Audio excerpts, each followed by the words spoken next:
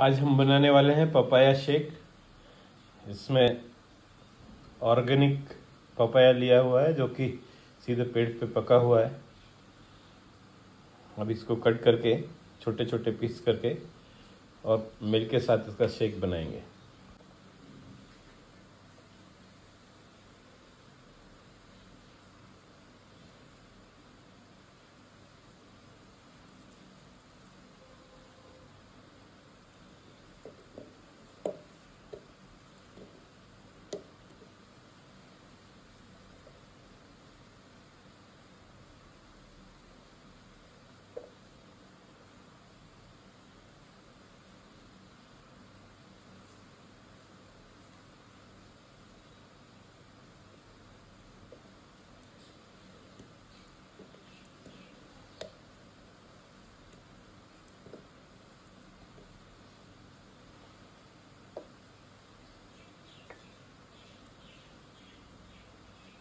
तो मुझे पपाया ले रहे हैं वो। Three hundred two fifty two three hundred grams होगा।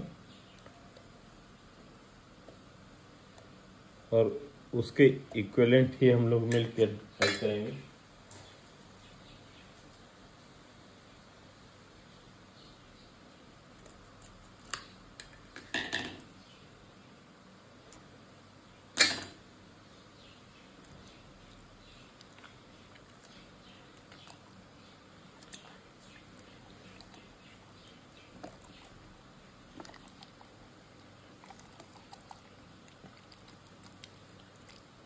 जिससे कि जो शेक बनेगा, एकदम थिक रहेगा, जिसे आप स्पून से भी खा सकते हैं।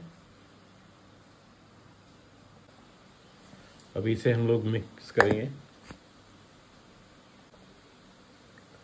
और ये तैयार है without sugar because papaya is so sweet ये हम लोगों का papaya milk shake is ready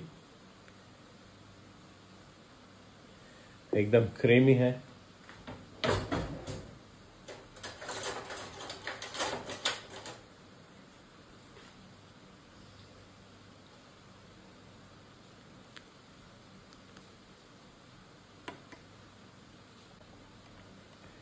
It's full of energy and it's very good for the health